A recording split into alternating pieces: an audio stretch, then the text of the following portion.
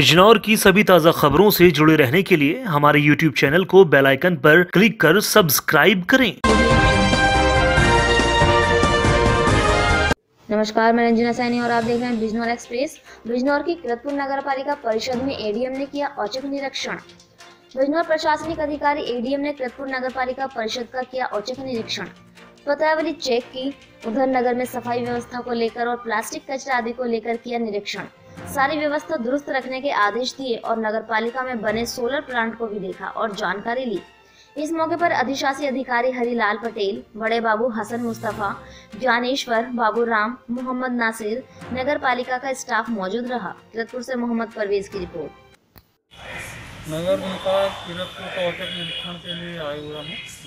यहाँ पे देख रहे थे साफ़ सफ़ाई का क्या स्टाफ की क्या है टैक्स कलेक्शन क्या है कूड़ा निस्तारण क्या हो रहा है प्लास्टिक के अभियान में क्या हुआ? तो सर्व करके अभी जा रहे थे।